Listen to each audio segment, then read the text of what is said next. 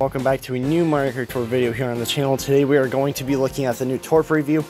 Super excited. I don't have any idea what this could be, but people have been making some speculation that it could be something related to Paris Tour since um, one of the challenges recently have um, a Paris badge. If you guys can see it, it says Paris Met Les Gaz. Um, people have weird speculation that this could be somehow related to Paris, so Paris Promenade could be coming back. But I'm super excited to see what the news has to say about this. We'll be making speculation of what tracks will be coming, unless if it shows some kind of new track, and then I'll be guessing it'll be that. We'll be speculating what kind of characters could be coming, or reskins, or anything like that.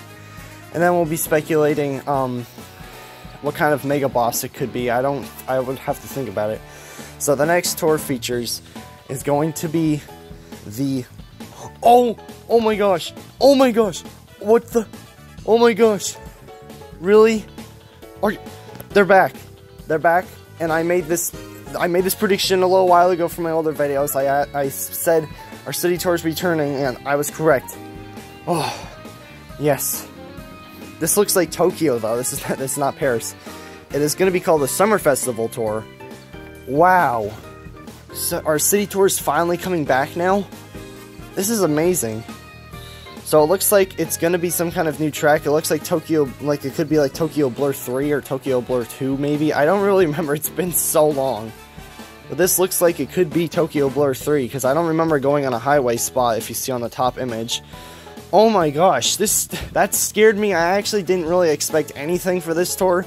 But it, this is fun. This is now something I know that could be happening for the rest of Mario Tour's life is that we're going to start getting more city tracks again or we could be seeing more returning ones. So, um, yeah, I think this is the only new track that's coming. We could see like, um, okay, yeah, let me restart that.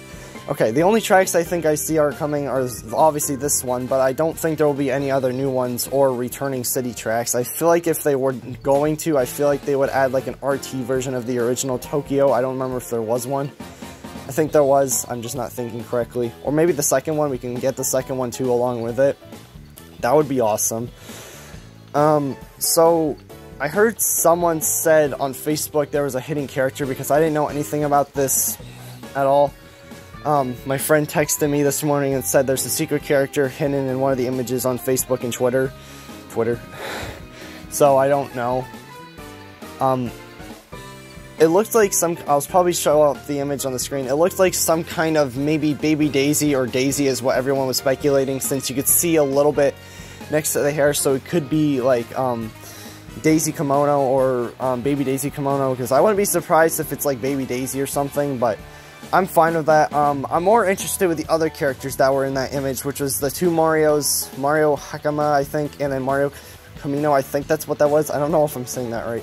Then we also saw Peach Camino, so we, we could see those ones in like a special pipe, I'm guessing, or maybe in a second pipe, just like how the Peach Tour Pipe 2 was like this, because they brought back old versions of Peach, so it turned out to be like the second pipe instead of the first. The first was like the brand new reskin, which was Peach Wedding, so we could see Baby Daisy or Daisy Camino like for the first pipe, and then see the returning characters in the second pipe.